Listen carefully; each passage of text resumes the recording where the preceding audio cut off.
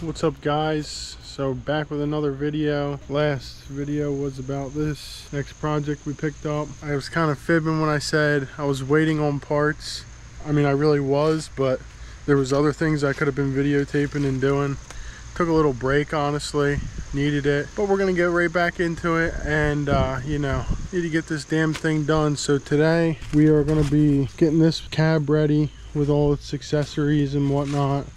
The uh, get the wiring harness swapped over all the AC components everything that's under the dash from this truck is to go in this cab not sure how much I'll get done today, but uh, I'm gonna use the GoPro head mount so I don't have to keep moving the camera around and see how much I can get done. Also gotta get all the accessories under the hood, then we'll get the doors and hood, possibly the fenders off and have them ready for paint. So yeah, I guess I'll go ahead and get started.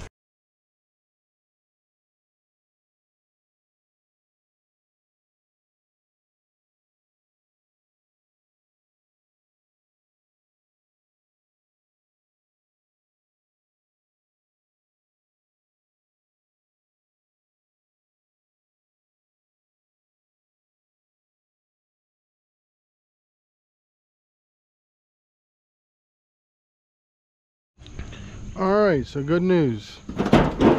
They all broke on the bottom. It's a shame this corner's rotted on this fender. Probably end up fixing it honestly but we'll see what happens. I may just order new fenders for the mud truck so i don't have to mess with it. We'll see what happens. Now we can get to our hinges. Those are going to be 12s i believe. And i gotta disconnect the pin hinge in here and just slam the door a couple times into your fender. It'll be all right all right the door is coming off. It's getting in the way. Fuck this thing.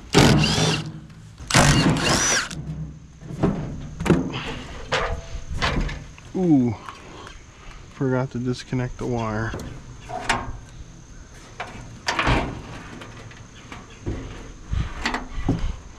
Mm. All right so i got the door off all the wires from the door disconnected. Gonna try and get these 10 mils off near the windshield they're kind of in a bad spot. She probably can't see what i'm doing that well. Oh the first one came out good. Second one out. Third one.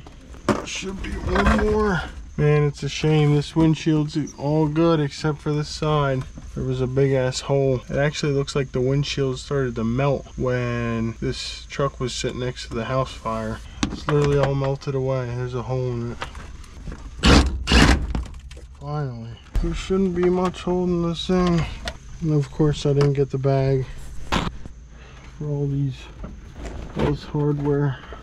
I need to take that off and then we're going to expertly catalog this down on the floor here for a minute think we have some connections behind the speedo I have one more wire to disconnect probably not going to be able to deal with the camera so I'll pick it back up in a second Alright, now I really got some room to work now that the steering column's out. We can get the wires back here, maybe. Something like that.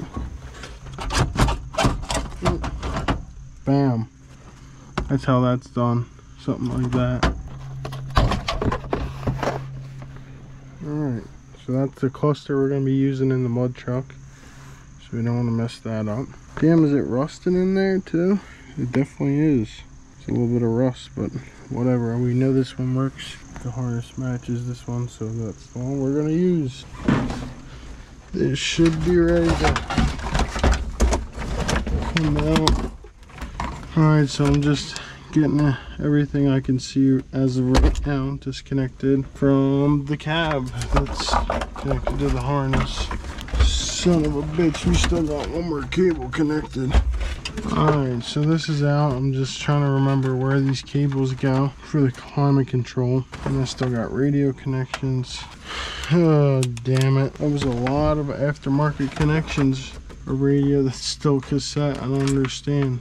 Alright, well, I guess we're cutting wires, and we probably won't be remembering where that shit's going, but it doesn't matter, because we'll have to figure it all out anyway when we put the aftermarket system in this thing. You know your boy's gonna have this thing slamming with at least three tens in the back, waterproof. Uh, yeah, not much room in the cab for any subs, but we'll be running the amp out of here. Mount that bitch to the ceiling, right up here, something like that. All right, so I got everything with the harness unhooked in the cab, all the sensors and computers, whatever you want to call this, relays, solenoids, all the shit like that that was bolted up, all disconnected. We're going to use all this stuff because we know that it works because the truck ran. Uh, I just have to, like I said, I think I'm done in here pretty much. I just have to go unbolt everything from the firewall now and everything should come out. All right so i'm gonna disconnect all the wiring here. That's connected to the main harness so you got your coil connections that i spliced in to get the truck running. All right so it looks like we got some 12s holding some of your grounds. 10s and 12s take the whole truck all the little shit apart anyway. That'll go on the, the good cab. So i think for this side all I gotta do is unhook the headlights and we're, we're good for the harness on this side. Then we got some other things disconnect on that side.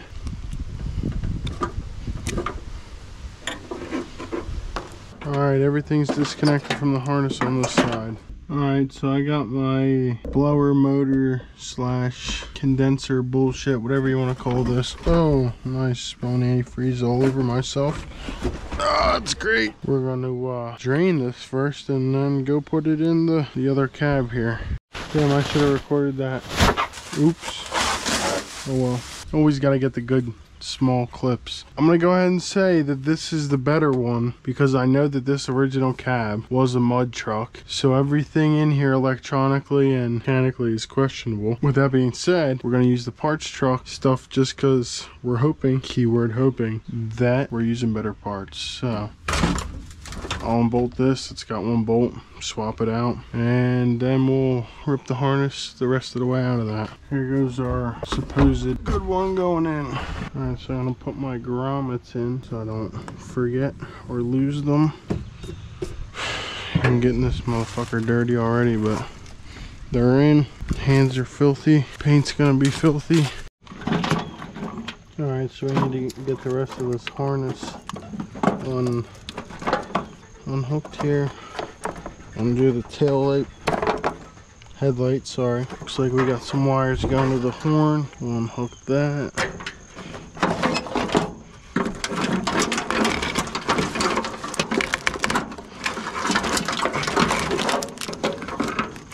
Almost through. Damn it. Alrighty, the main harness is through the firewall and I'll be able to pull it out here in a second.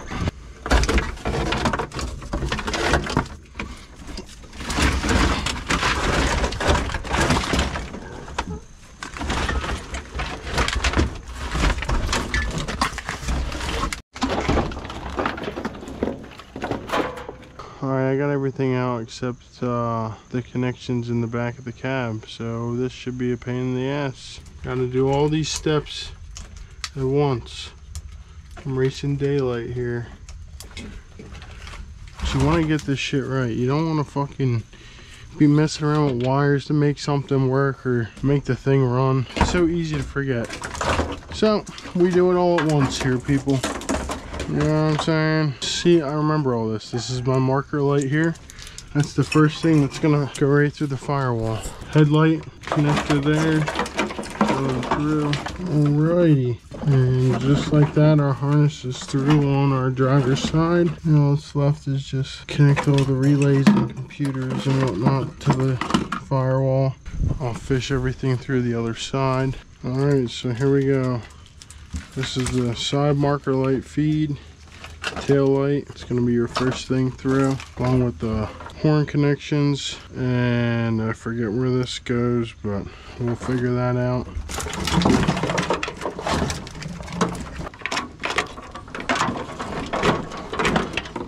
Alright, so I ran into some problems when I was going to put all the ducts back in for the AC and heat and whatnot. So I just got this side cut in. I'm not sure if somebody just capped these off because they were missing a bunch of parts, but there's supposed to be a vent here that I'll have to cut out. I'll go ahead and cut this one out and I can put the duct in and one on the other side and we should be good. All right, so I'm just cutting the circle out. All right, that should work. I think I may have made this one a little too wide. All right, so I just want to show you guys, you know, I was talking about my uh, defrosters. Hoses that went up to the dash vents that'll be right here are made out of cardboard. So when I took it apart, you know, as you can expect, and I went to the store, went to good old Rural King, and they had what I needed. This is for a sink. Actually, no, that says washing machine.